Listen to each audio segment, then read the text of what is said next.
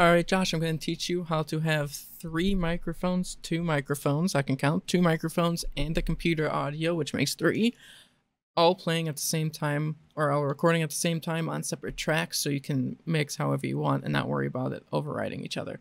So, what we're going to do is have this handy dandy app open, Voicemeeter Banana, that's our virtual mixing board. I just run my Rode mic through it so that it has better sounding, has like EQ and everything not necessary, but makes it sound better. So this hardware input one is the Rode mic. The second one, you could do the microphone, the other one. But the only thing is it will record it onto the same audio track so then you can't separate the two microphone inputs. So I would not suggest doing that. But for A1, which correlates to the Rode mic, it's a KBV audio, KSVB audio point and this one obviously is not selected to anything because I don't want that mic outputting and clapping with the Rode. But you have that, and then you just have the normal mic right here. And if I bring OBS over, you can see I've got the Logitech mic and the virtual cable mic. The virtual cable is the Rode mic. That's what Voicemeeter Banana is called. And then the Logitech mic is just obviously the Logitech mic. If I talk into it, you can see it spiking. And if I talk back into the Rode mic, you see that one spiking.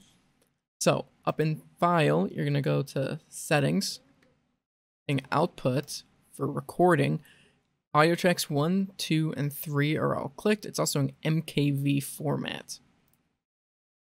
So if you come over here, remember, so right now OBS is exporting audio tracks 1, 2, and 3 only. They're not doing 4, 5, and 6.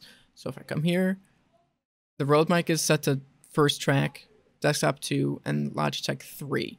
Make sure the Rode mic is on 1 or the Logitech mic is on 1 because when you preview the filing, it exports the only audio that's going to be playing is from the first track until you bring it into Premiere. So if you just want to preview the audio and it's set to desktop, it's going to be silent or it's just going to be whatever desktop is playing.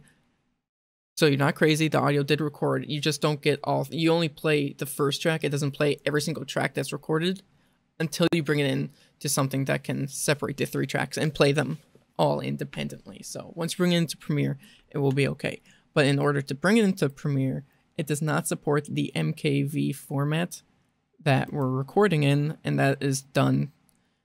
I don't know why it's MKV, but if you go to output and recording and switch it off MKV to MP4, it gives an a warning like don't do this. Like if you're power out or something you lose all the you know recording and it's not a big hassle to switch. So all you do is remux remue recordings. You can just literally take whatever file you want drag it in and it will just you click click it hit remux boom done took two seconds and now it's in the MP4 format, which Premiere can use. So if you open up Premiere and then bring back this, you will see this is the one I just did is in the MP4 format, whereas this one is in the MKV format. So if I take this one, drag it into Premiere, we'll see it has the video that was actually the first take of this. so your audio tracks here are so this one is the top one is desktop which I switched to the microphone. The second one is the Rode mic and then this bottom one is the Logitech mic.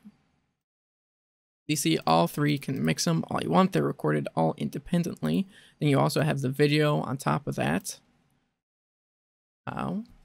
You have three audio inputs while also having them on separate tracks.